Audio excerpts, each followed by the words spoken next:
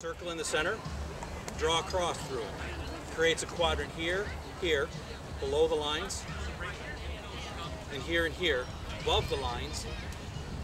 And then the fifth one is your circle in the center. Okay? Now, I'm going to deviate just slightly on this. Florentine adds a second layer to this. That layer is columns. Flor let me steal yours. Florentiner has two weapons. If he chooses some other stance with the weapon down, it still kind of applies, but he's sacrificed one weapon, so I'm not too worried about it. Somebody in a good position has three columns. One, two, three.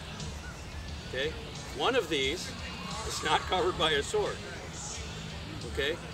Do you think the Florentine knows that? Yes, he does. So what they will do is they will typically shift. Now I've shut down the outside, the center, and sacrificed the outside.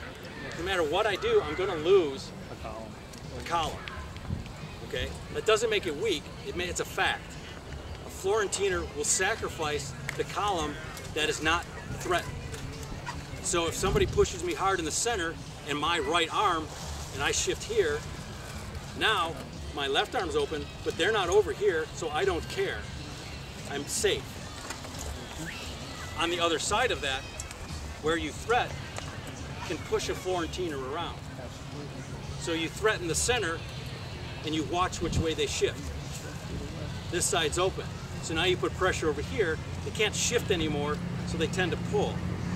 Now the center opens back up and they're off position. So now we're starting to build on it. Now we're now we're starting to take control.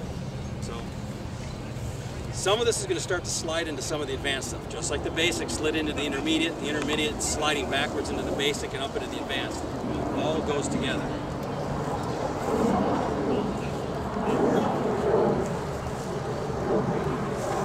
Remember with the sword, we talked about pointing it, using your hip to point it? That's your threat. Fakes with their swords, a lot of people will buy that, but most of us know once that sword has left this position, it's no longer a real threat. If somebody brings it up here to fire at my head, that's all they can do. That leg can't be thrown without correcting the weapon and firing. If I threaten the head by pointing this hip,